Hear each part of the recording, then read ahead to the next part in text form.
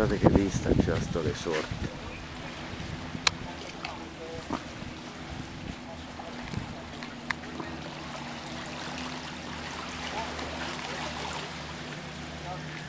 non è male eh?